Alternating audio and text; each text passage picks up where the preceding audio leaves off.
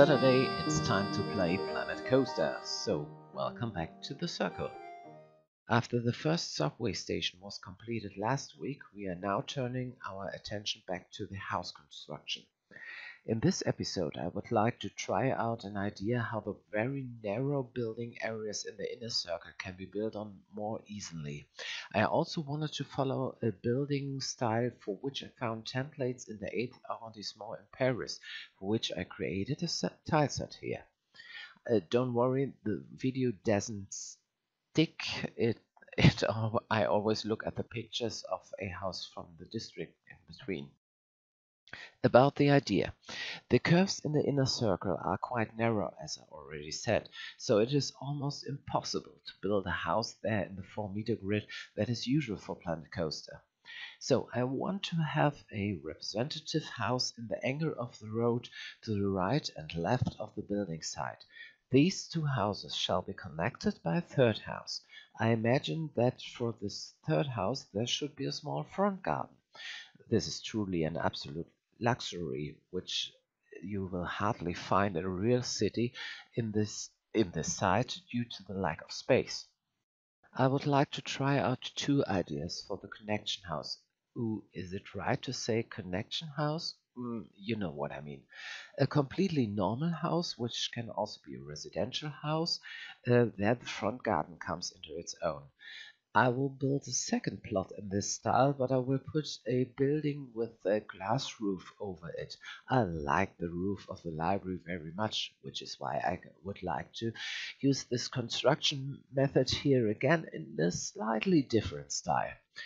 We can assume that this is a restaurant. I will then connect this part of the building to the normal path so that maybe guests will actually go there uh, once the park is open. So, enjoy the rest of the construction phase. As always, I will come back to you at the end of the video.